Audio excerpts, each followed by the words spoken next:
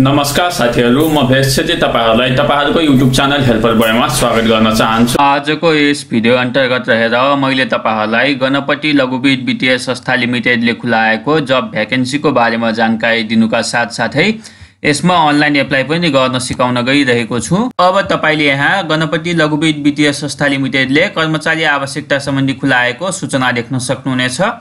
यो चाहिँ प्रथम पटक दुई हजार उनासी साल दुई महिना अठार गतेका दिन प्रकाशित भएको हो। तपाईँहरूले तल दिएका पदमा सजिलैसँग आफ्नो योग्यता पुगेको छ भनेपछि एप्लाई गर्न सक्नुहुनेछ। अब म तपाईँहरूलाई कुन कुन पदको लागि जब भ्याकेन्सी खुलाएको छ त्यसको बारेमा कुरा गर्न गइरहेको छु। तपाईँले यहाँदेखि विज्ञापन नम्बर हेर्न सक्नुहुनेछ। पद चाहिँ हाम्रो विभागीय प्रमुख भन्ने रहेको छ। यसको लागि एकजनाको सङ्ख्यामा भ्याकेन्सी खुलाइएको छ। यसको लागि तपाईँले मान्यता प्राप्त शिक्षण संस्थाबाट व्यवस्थापनमा स्नातकोत्तर वा सोसरगर परीक्षा उत्तीर्ण भई ब्याङ्क तथा वित्तीय संस्थामा सम्बन्धित क्षेत्रमा अधिकृत व्यवस्थापकीय श्रेणीमा कम्तीमा तिन वर्ष कार्य अनुभव गरेको वा सेमी क्वालिफाइड चार्टर एकाउन्टेन्सी उत्तीर्ण गरी सम्बन्धित क्षेत्रमा कम्तीमा चार वर्षको कार्य अनुभव प्राप्त गरेको हुनुपर्नेछ। यसको लागि तपाईँको परीक्षाको किसिम अन्तर्वार्ता हुनेछ। त्यस्तै अर्को पद पनि हाम्रो विभागीय प्रमुख भन्ने रहेको छ।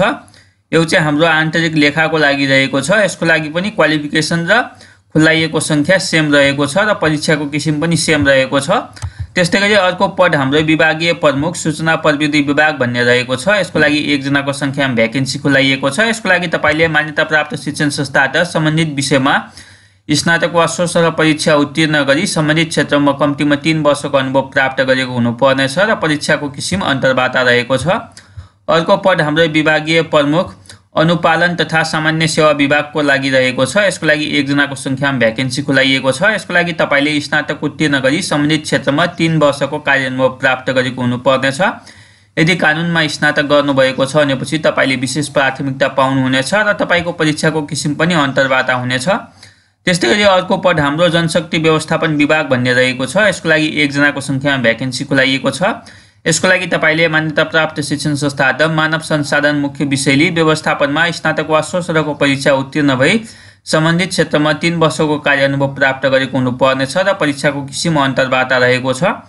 त्यस्तै गरी अर्को पद हाम्रो आन्तरिक लेखा परीक्षण विभाग भन्ने रहेको छ। यसको लागि एकजनाको सङ्ख्यामा भ्याकेन्सी खुलाइएको छ।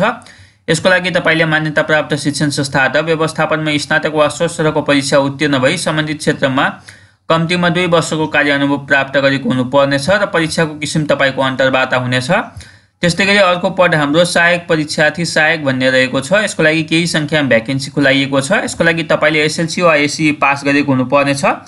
कम्प्युटर सम्बन्धी ज्ञान भएको र ग्रामीण क्षेत्रमा गई कार्य गर्न इच्छुक भएको हुनुपर्नेछ। यसको लागि तपाईँको लिखित परीक्षा र अन्तर्वार्ता हुनेछ।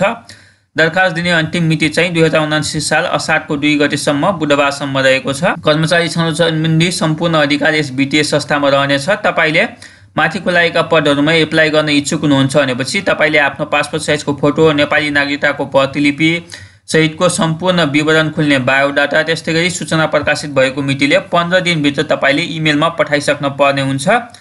अथवा तपाईँले यस संस्थाको वेबसाइटमा गएर पनि अनलाइन एप्लाई गर्न सक्नुहुनेछ तर वेबसाइटमा गएर अनलाइन एप्लाई गर्नभन्दा तपाईँले सम्पूर्ण डकुमेन्टहरू आफ्नो सिभी इमेलद्वारा पठाएर एप्लाई गर्न सक्नुहुनेछ तपाईँहरूलाई हाम्रो आजको भिडियो कस्तो लाग्यो? यदि तपाईँहरूलाई हाम्रो आजको भिडियो मन पर्यो भने भिडियोलाई एक लाइक गरिदिनु होला च्यानलमा नयाँ हुनुहुन्छ भने च्यानललाई सब्सक्राइब गरिदिनु होला र यो भिडियोलाई धेरैभन्दा धेरै सेयर गरिदिनु होला आजको लागि यति नै। बाँकी जानकारीहरू लिएर तपाईँहरू सामु उपस्थित हुने बाचाका साथ आजलाई बिदा चाहन्छौँ। हस्त नमस्ते।